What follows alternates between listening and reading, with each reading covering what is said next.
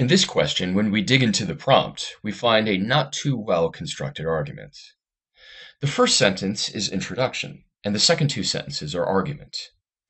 Each is like the side of an equation, and the missing connection is between law breaking and what constitutes art. The author assumes that you can be an artist only if you're not a lawbreaker. We look at the question stem and find it a bit oddly worded, but it's just asking for an assumption of the argument. We know what we're looking for.